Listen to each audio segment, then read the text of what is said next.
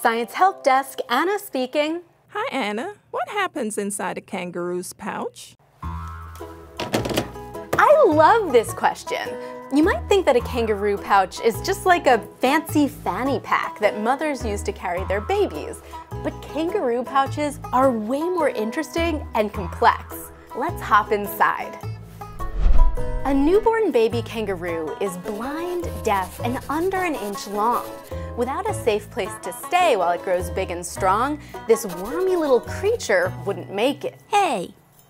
So the baby, called a joey, climbs up its mother's fur and makes its way to her pouch. This is harder than it looks. The pouch is basically a soft, warm, moist, stretchy bag that houses the newborn until it's more developed.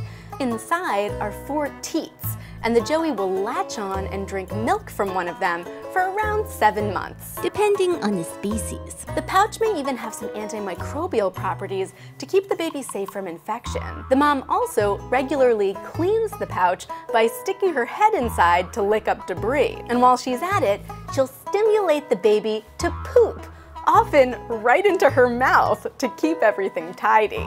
After months inside the pouch, the joey will finally emerge and start hopping around on its own. But will still hop in and out of the pouch for a few more months.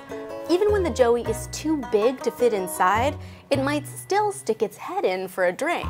In fact, at this point, the mother might have a new infant in the pouch, and she can actually provide different milk for each baby fat and protein-rich milk for the older joey, and sugar-rich milk for the younger one.